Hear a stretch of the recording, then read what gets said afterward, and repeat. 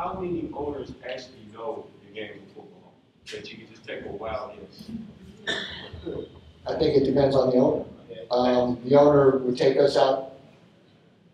The owner at San Francisco took us out to out to a lunch every time we were there for draft meetings. So I mean, it, it was important to that organization. Um, you know, some owners are fans. Some owners are you know get too involved. Some owners let people, the football people do the football work. Um, So every owner is different. But that's, Yeah, I would, I would say, um, ownership depend, it depends. Um, you know, some owners, you, some owners, you, you don't see a lot of them. You might not see them till draft day. Um, some owners, you know, know everybody. I remember the first time I met Miss McCaskey, she came to the building, opened the door for her. I said, hi, I'm James Kirkland. She said, I know who you are, you got in August.